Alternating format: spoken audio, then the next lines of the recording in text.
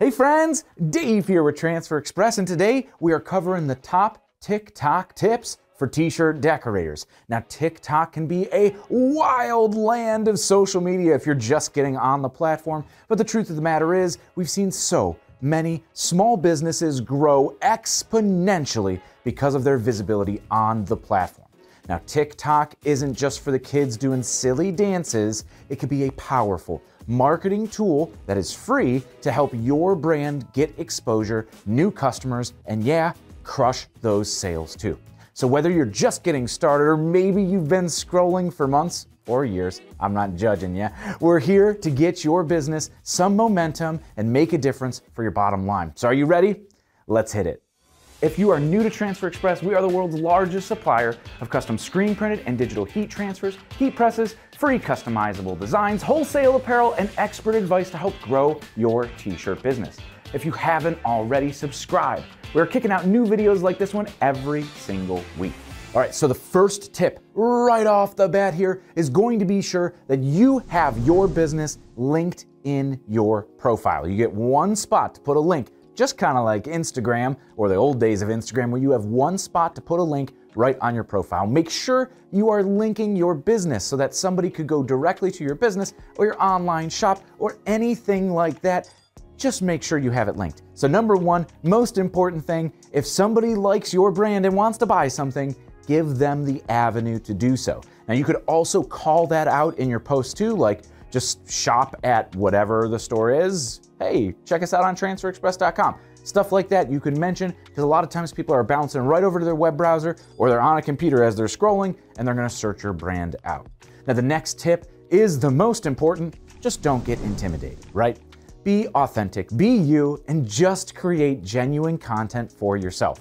You can show off your products, what you do, the behind the scenes of creating designs or sketching and bringing the entire t shirt to life, or how you pack your orders, how you ship your orders, or even how you just start your day sitting down at your home office or walking into the shop. There's just so much stuff on TikTok that's a complete waste of time. So if you're showing the hustle behind being an entrepreneur or running a small business, you're already creating more valuable content than 90% of the stuff that's on TikTok. So just don't be scared, be you, and people are going to see that. Now, the other best thing that you could do for your posts is cue them up to trending music and sounds. You could find these by clicking on the add sound and then looking at the TikTok viral category.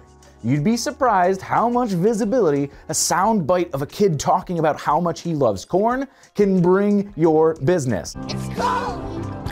So, hopping on these trends is super easy, and incorporating your products into them is a fun way that helps people who maybe otherwise wouldn't see your brand become your target audience. Now be sure you are including hashtags to tag your niche or the market or whoever you're going after as a customer. Are you making those cute dog lover t shirts? Use hashtags about dogs and dog lovers or dog walks to get interest. TikTok is great because it actually shows you the popularity of each tag as you write it in the description. Now that's cool stuff and puts the power of all of those analytic tools right at your fingertips. Next, curate your feed with pinned posts on your profile. So essentially what this lets you do is pick what videos are at the top of your profile. Think of someone just discovering you from a comment you left on somebody else's profile or interacting with somebody, or they're seeing your stuff for the first time in their feed, and then they click on you to go check out your profile to learn more about you. This is your opportunity to show the stuff that you want people to see first. So it should realistically explain what your business does, or what products you offer, or what do you do? Tell them. Now, most of the time, you'll see that people choose their most popular videos that they've made, which makes it easy because now TikTok and its users have already identified this as good content, as it's shown it a whole bunch and been the best content that you have. So, showing people that right off the bat could easily lead to somebody following you and then eventually buying something from your store. Now, for creating video themselves, we've found creating in the TikTok app works better than uploading videos from your camera roll or even editing videos on your computer and bringing them to TikTok. use all of those edit tools and the creator tools that are in the app itself to add music and captions, little emojis, GIFs, or even special effects. You watch a couple quick videos on YouTube or even on TikTok about how to create TikToks and how to edit TikToks, and you're gonna be a pro in no time. It's really not a learning curve. It's really kind of easy how they set everything up there in the app. Just play around with it and you might be able to figure it out in just a couple minutes. Now go find businesses or profiles that you think share some of the same audience with you and take note of what they're using in terms of sounds or effects or captions or how often they're using uh, little GIFs or emojis or anything. Just pay attention to it and kind of analyze that if they're having success and take that as inspiration for yourself. Next, post consistently. Just like with any other social media platform, consistency and engagement reign supreme here comment, like, save videos, bookmark anything you see, and it's more likely that others are going to do the same for your posts and profile. You're not going to see success right away with tons of views. So don't think you're going viral on your first couple posts. But as long as you continue to post, you're going to see positive growth and those views really start rolling in. Some people say, depending on what you read around the internet, and it changes every single month, whether you should close the app for 30 minutes immediately after you post, or interact for 30 minutes after you post, or keep the app open for an hour just on your video on loop to spur more engagement. A lot of people are selling smoke and mirrors here, uh, as nobody really knows how the TikTok algorithm works. It changes a lot.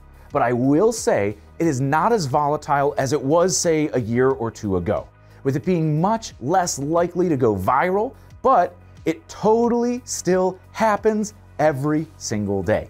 Now, if you're not creating posts, well, you don't have a chance. You're missing 100% of the shots that you don't take, right?